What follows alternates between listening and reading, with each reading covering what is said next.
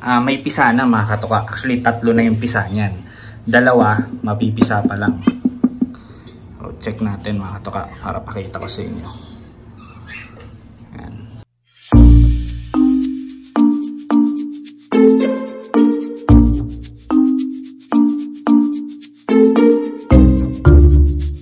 Welcome back mga katuka dito sa J&J Avery TV. Medyo matagal-tagal tayong hindi na naman nakapag-vlog mga katuka kasi medyo busy. Marami tayong inasikaso this past few days. At yun, meron tayong mga personal na ginawa sa trabaho. May mga inasikaso tayo. Tsaka wala tayong may content. Hirapan tayo mag-isip na i-content. So kung meron kayong mga suggestions na gusto nyo i-content natin mga katuka, basta tungkol sa ibon, comment down below mga suggestion nyo at uh, may mga tanong kayo, i-content natin yan. Anyway, for today mga katuka, bibigyan ko muna kayo ng update sa mga paitlog natin, sa mga breeders natin, yung mga papisa nating mga itlog. Kasi meron ng mga itlog na napisana at meron na rin mga uh, papisana.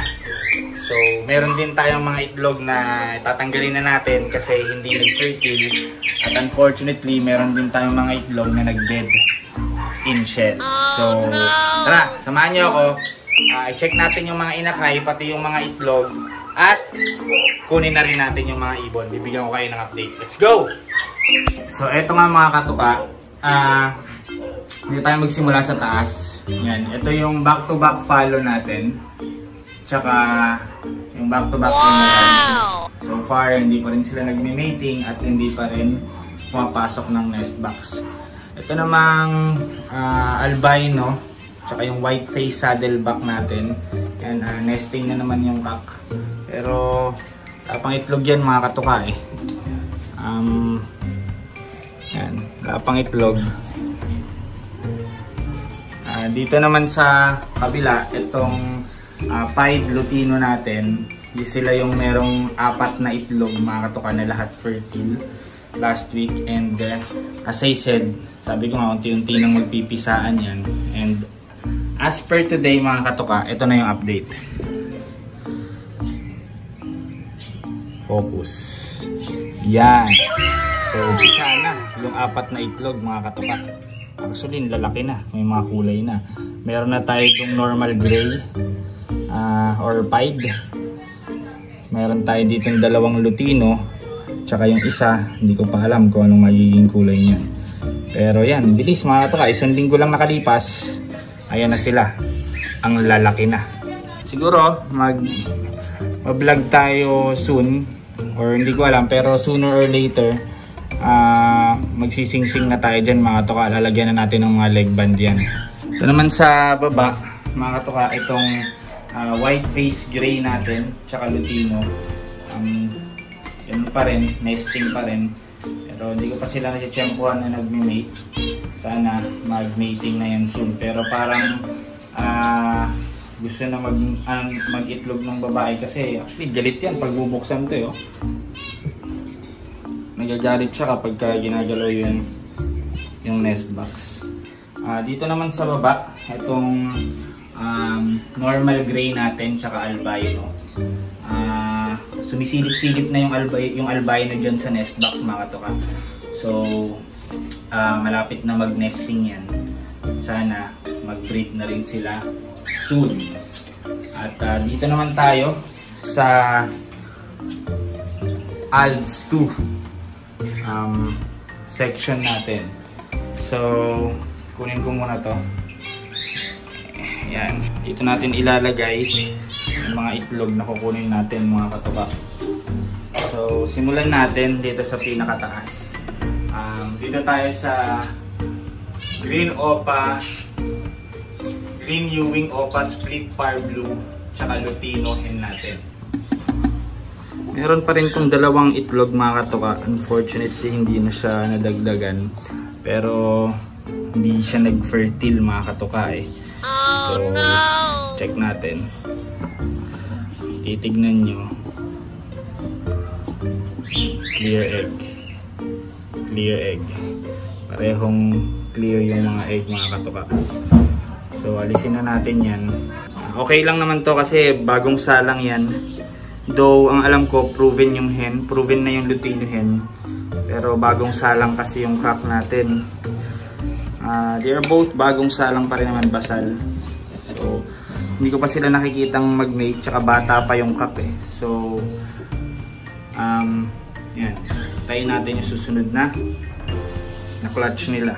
So, ito naman sa kabilang mga katoka. Itong Bio Parblue Ewing o pakak tsaka yung uh, mob o pahen natin. Ito ito yung may apat na itlog na ano na sabi kong dalawa na yung fertile mga katuka.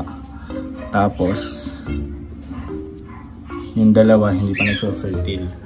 Well, may mahirap makita mga katuka kasi medyo mataas. So, check ko na lang ulit, final check, then pakita ko sa inyo mamaya kapag nailabas ko na itlog. Pero may bad news kasi dito sa mga itlog na to mga katuka eh. Oh, no! Check ko muna mga katuka, then lalabas ko na lang yung itlog. Tapos pakita ko sa inyo. So dito muna tayo sa second layer natin mga katuka. So simulan natin dito sa green opa, split par blue, cap, tsaka lutino hen natin. Uh, ito, yung may dalawang itlog din last week na ngayon uh, I mean, apat na itlog na may dalawang fertile last week. Oh, ang gulo na naman! Ang gulo magsalita eh! Hindi maintindihan ba sinabi? So, luckily, may isa dyan na, ay may isa pa na nag-fertile. Ito mga katoka, ah. check natin isa-isa. Ito yung clear. Clear egg, tapos yan fertile. Fertile. So, ito fertile din to mga katoka. Wow! So tatlo yung fertile natin, isa lang yung nag-clear egg. Tanggalin na natin yan mga katuka.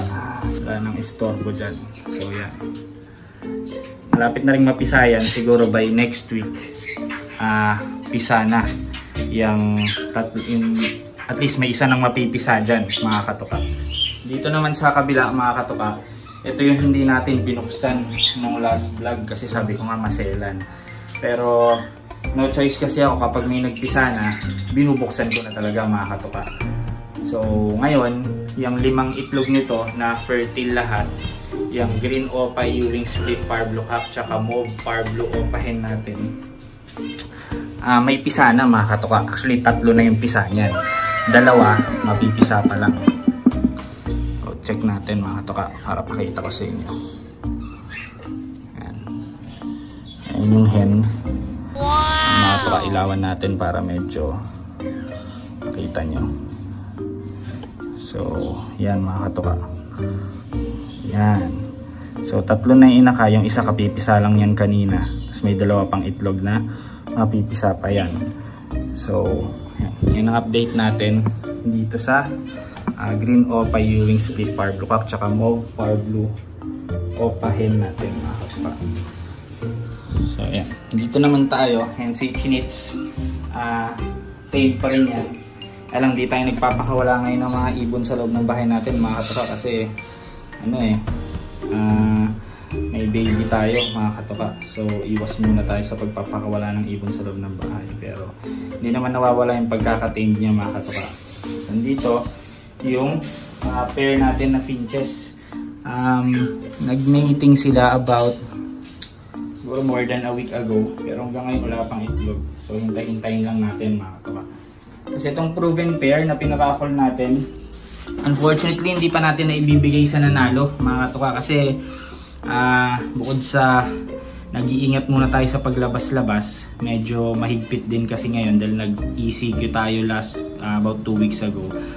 As uh, MECQ tayo ngayon, non-essential travel. So medyo hindi muna tayo lumalabas. Pero uh, soon, siguro hanggang next week or pipilitin natin during the week, ibibigay na natin yan dun sa nanalo. Ipapapremyo na natin yan. Uh, sa loob sila mga katukay, pero palabasin natin para makita nyo. So, yan mga katuka. So, yun. Yung ibon na wow! proven na panalunan ng polygraphol natin. Tapos, dito naman tayo, yung itlog niyan mga katuka, yan yung pina-foster ko dito sa back-to-back -back Lutino natin, mga katuka. So, dito, tatlo yung itlog na pina-foster natin. Yung isa, hindi nag-fertile mga katuka. Pero yung dalawa, fertile na. Actually, papisa na rin yan. Kunin na natin yung isang hindi nag-fertile mga katuka. Medyo masungit to si madam eh. Oh, hindi yan umaalis eh. Kailangan itulak mo pa. So, ayan, fertile. Ito, papisahan na to. Stained clear egg. So, kunin na natin mga katuwa. Um, yeah. Ayan ang update natin mga katuka dito sa mga ibon natin. So, yan ang update natin mga katuka dito sa mga breeders natin, yung mga paitlog natin, mga papisa natin ng mga inakay. Ah, uh, ito yung na mga nakolekta nating itlog mga katuka.